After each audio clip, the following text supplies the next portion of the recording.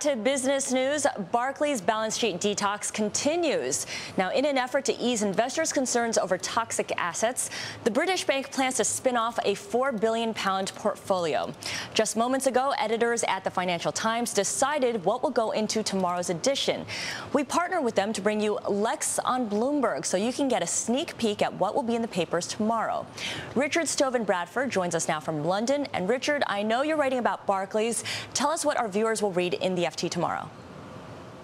Good morning, Scarlet. That's right. We believe that Barclays is poised to sell a further £4 billion worth of assets, toxic or otherwise, um, to investors, and that would be about 6.4 billion US dollars.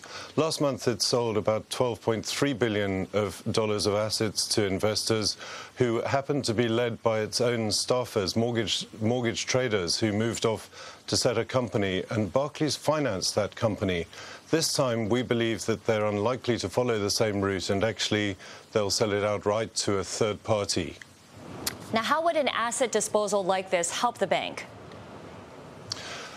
Two ways, really. One is that Barclays needs to reassure investors that there are no or there are fewer skeletons still lurking in its cupboards. The other is that by reducing its overall risk-weighted assets, it actually enhances its capital levels. And at the moment, its capital levels, after it sold its asset manager, Barclays Global Investors, earlier this year, stand at about 8.8% at the core Tier 1 level, or nearly 12% at the overall Tier 1 tier level, which is actually higher than HSBC. But I think there's no harm in having too much capital in these markets. Now, you've been talking to a lot of people in the know. Any sense of how likely this would be? It's still not clear. This is something that is very much on the list of possible to-dos at Barclays.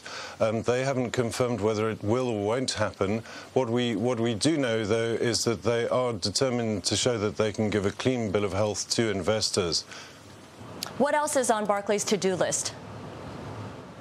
Other things on Barclays' to-do list will probably include smaller asset sales on the margin, but the biggest one has really been done, and that was Barclays Global Investors earlier this year.